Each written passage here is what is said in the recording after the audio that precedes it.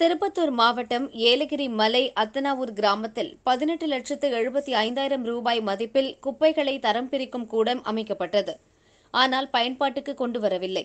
இதனால் குப்பைகள் பெருகி சுகாதார சீர்கேடு ஏற்படுவதாக மக்கள் தெரிவிக்கின்றனர். தரம் பிரிக்கும் கூடத்தை உடனடியாக செயல்பாட்டுக்கு கொண்டு வர வேண்டும் எனவும் வலியுறுத்தியுள்ளனர். குப்பை தரம் பிரிக்கிறான்னு சொல்லிட்டு கட்டினாங்களே தவிர எந்த தரமும் பிரிச்சு இங்க பண்ணல. மாறா வந்து இந்த பெரிய பெரிய டிராக்டர்ல எடுத்துட்டு வந்து இந்த குப்பை கழிவுகளை நீங்களே நேரடியா பார்க்கலாம். எல்லாத்தையும் கொட்டி ஒரு இருபது அடி ஆழத்துக்கு அப்படியே வந்துட்டு மூடிடுறாங்க மண்ணை போட்டு.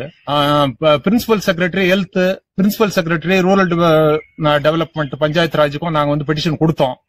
ஆனா இது வரைக்கும் எந்த விதமான எங்க கோரிக்கையை வந்து இங்க முதல் குப்பை கொட்டுறதை நிறுத்தணும் அப்படின்னு சொல்லிட்டு தான் நாங்க வந்து எங்க பிரைமரி கோரிக்கை.